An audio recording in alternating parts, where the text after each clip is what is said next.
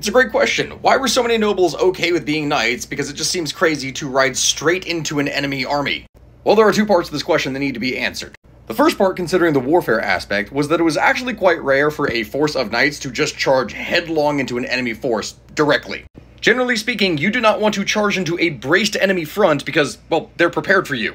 Most medieval and ancient warfare specifically relied on skirmishers going into battle first, firing off missiles at each other, followed by infantry moving up to hold the enemy in place, and then cavalry going around the flanks to attack the enemy from the rear in hammer and anvil tactics. The battles that oftentimes first happened was that as the infantry were fighting each other, the cavalry would fight on the flanks, and whoever won on the flanks is usually the one that would end up winning the battle because then the cavalry could go past and attack the enemy from the rear.